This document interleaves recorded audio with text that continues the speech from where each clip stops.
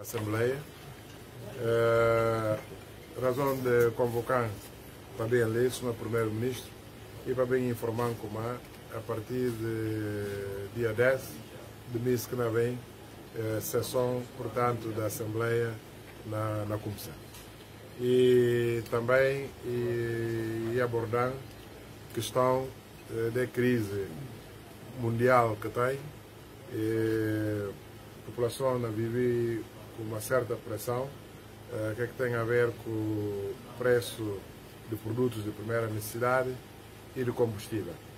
Mas também, uh, sobre esse ponto, uh, teve a oportunidade de explicar ao Presidente, Presidente da Assembleia de como o governo está a perceber esse facto que tem da crise e o governo está a trabalhar, tomar diligências necessárias para poder, de facto, ajudar a colmatar a situação na metade da nossa população. Portanto, eh, explicar como é que tem um projeto que é desenhado para, para o governo, eh, para ajudar a aliviar, portanto, essa crise a nível do país. E esse, o senhor Conselho Ministro que nós vimos para quinta-feira, certamente não vai aprovar esses instrumentos que nós queria para poder ajudar, uh, dar facilidade à, à população. Portanto, eh, também sobre eh, o começo de, de, de atividades da Assembleia dia 10, e não abordar se tem alguma documentação importante que o Governo tem para poder submeter à, Assembleia. Portanto, de uma forma geral, eh, esses dois tópicos eh, que interessavam ao Presidente da Assembleia, eh, sobretudo, o que é que tem a ver com um, uh, eh, subida de preços na, no mercado. Portanto, o governo toma assim diligências e brevemente ainda torna público qualquer trabalhos que fazido para poder aliviar uh, peso a nível da população. Sr. Primeiro-Ministro, hum.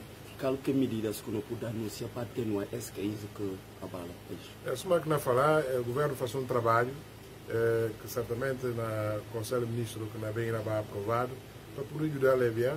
Nós, como no país está na crise, há um dia eh, receitas que o Estado está a receber e praticamente é impossível para suportar eh, no, no, na economia. Mas, qualquer das formas, o governo faz um, um trabalho eh, que pode bem que tem, afeta no orçamento do Estado. Mas qualquer das formas, não entender como é e tem necessidade de não fazer para poder ajudar a aliviar essa crise que tem. É, na medida de possibilidade de, de, de, de governo, portanto, não vai tornar as medidas é, de forma pública que vai poder.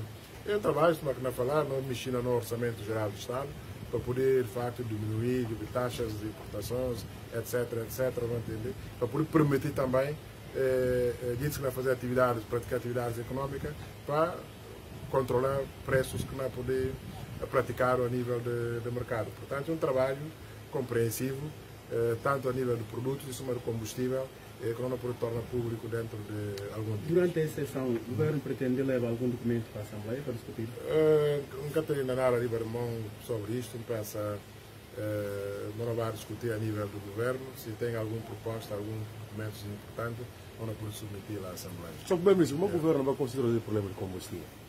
Não, o governo resolveu o problema do combustível.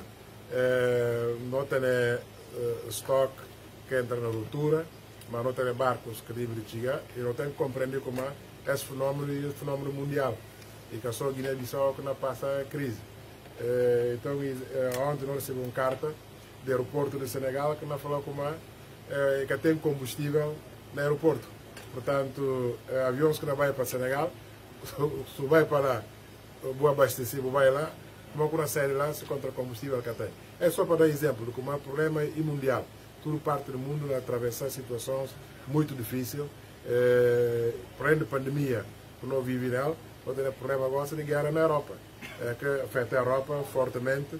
Não olha próprio na América, combustível subir, na Europa combustível subir. Então, tem medidas de compensação que o governo está tentando fazer. E é medida de compensação que nós também não trabalhar e não torna público dentro de algum dia. Obrigado.